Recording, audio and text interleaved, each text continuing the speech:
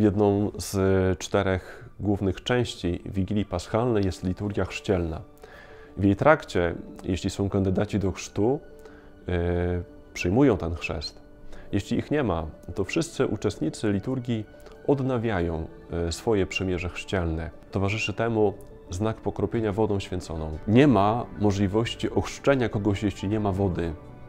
Woda jest bardzo ważnym symbolem, bardzo też ważnym elementem naszego życia.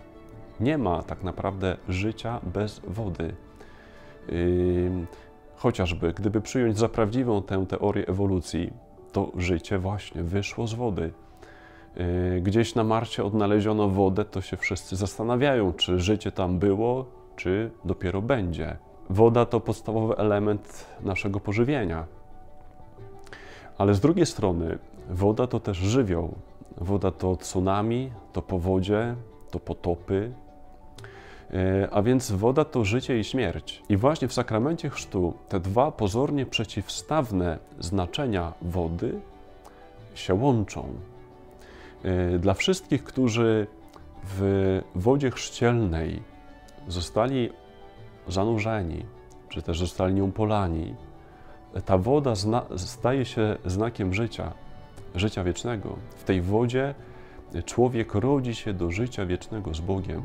Tutaj się rozpoczyna życie wieczne człowieka. To życie już się nigdy nie skończy. Natomiast dla szatana yy, woda ta oznacza śmierć. Takim bardzo plastycznym obrazem yy, tego, co dzieje się z nami w sakramencie Chrztu Świętego, jest yy, scena przejścia Izraelitów przez Morze Czerwone.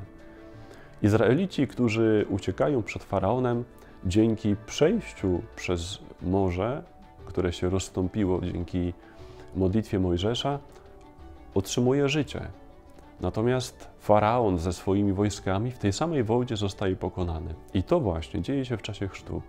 My, jako uczniowie Chrystusa, w tej wodzie otrzymujemy życie. Natomiast nasz wróg, demon, w tej samej wodzie zostaje pokonany.